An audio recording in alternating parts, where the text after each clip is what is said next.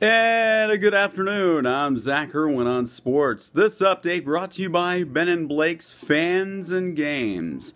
Super Bowl 53 now three days away from now here in Atlanta. The Rams trying to win their first championship since 2000, back when there was a Georgia Dome, and the Rams were the St. Louis Rams. The Patriots, they're going to try to win their first championship in two years back when they beat my Atlanta Falcons 34 28 in overtime in Houston. Kickoff is set for Sunday at 6:30 Eastern Time from Mercedes-Benz Stadium. Six games on tap in the NBA tonight. Dallas taking on Detroit at 7 Eastern. Also a 7 Eastern tip. Indiana taking on Orlando.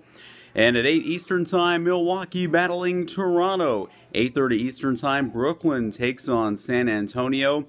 Golden State puts its 11-game winning streak on the line at home against Philadelphia at 10:30 Eastern Time, and a battle of LA between the Lakers and the Clippers. It'll be on the Clippers home court at Staples Center, 10:30 Eastern Time and there might not be any LeBron James again tonight, still battling that groin injury.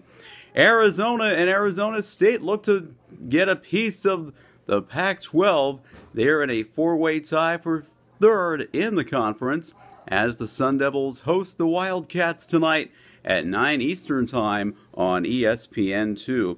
A couple of other games going on Oregon State battling Colorado, Oregon taking on Utah. And my San Diego Padres are set to meet with free agent outfielder Bryce Harper in his hometown of Las Vegas. Harper is said to have met with his fourth team, at least that's coming up. He has also met with the Nationals, Phillies, and White Sox. That's it. That's what's going on in the world of sports news on a Thursday afternoon. I'm Zach Irwin.